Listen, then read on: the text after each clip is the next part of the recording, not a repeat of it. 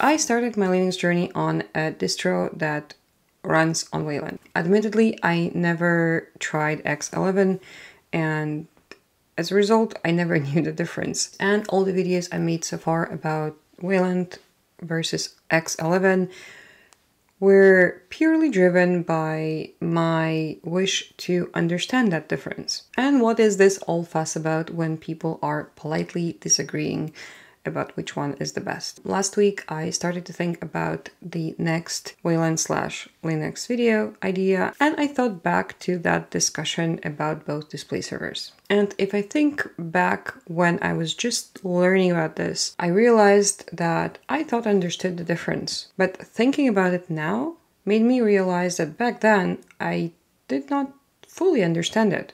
And it seems I'm not the only one, and I wanted to share this realization. But you know, I almost didn't film this video. Because when I was writing my video outline, I started doubting myself. Is this video even worth it? It might actually be common knowledge, and here I am, the dummy who tried to pretend to know the information people wanted to know. But then a few days ago, as on cue, I got this comment. And this spoke directly to the doubts I had in my mind about making this video at all. So someone asked, can Wayland run without a compositor? So thank you for the comment.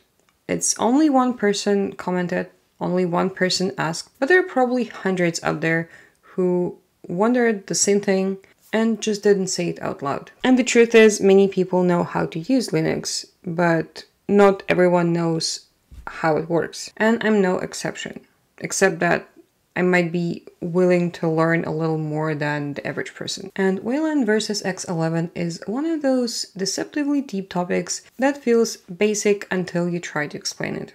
So back to the question. Can Wayland really run without a compositor? And the short answer is no, it can't.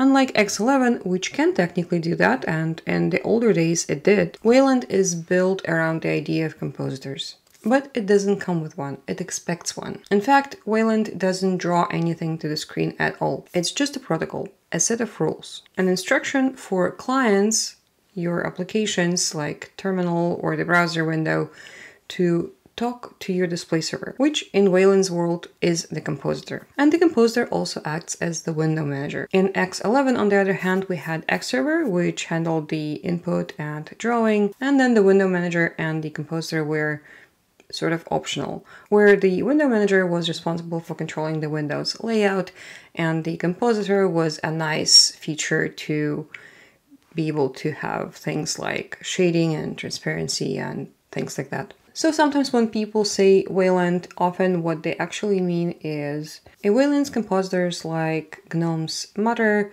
KDE's Kwin, or Sway. This might sound confusing because in a way it is. If in X11 the compositor was optional, in Wayland it's a must-have. It's the thing that's doing all the heavy lifting, managing windows, rendering, input, output, everything. So if you ask, can Wayland run on its own? What you're really asking is, can I have a Wayland system without a compositor?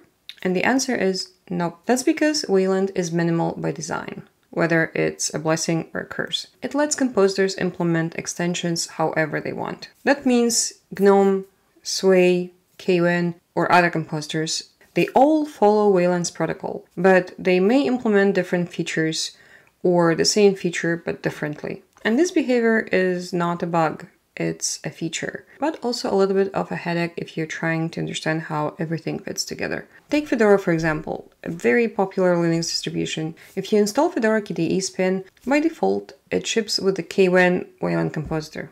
This gives you a more traditional desktop environment like floating windows, animation, and panel at the bottom. But if you're more into the minimalist tiling window manager vibe, use keyboard for everything instead of using your mouse, then you can just install Sway Compositor instead. Sway is a Wayland Compositor too, but it's modeled after the i3, a popular tiling window manager from X11. So under the hood you're still on Wayland, but the whole experience changes based on which compositor you use. This is the part which I didn't fully grasp at first. Wayland isn't the experience the composer is. Wayland isn't a standalone system. It's not just the replacement for X11. It's a whole different philosophy, a different framework. and everything depends on the composer you pair it with. Wayland sets the rules of the game and the composer decides how the game is played. So there we go. Let me know if you run into any other unresolved misunderstandings about Wayland and Linux systems in general, and I'll try to make sense of them for you. Your comments really help me to create content that you want to watch. And on another note, this video is also available as a blog post because sometimes if you want to quickly revisit whatever I said in this video, it might be more convenient to quickly glance over the blog post to remind yourself of certain things rather than rewatch the whole video. So thanks for watching and I see you soon. And the next video is going to be about the recent developments in my PhD program, life updates, and that sort of stuff. See you next time.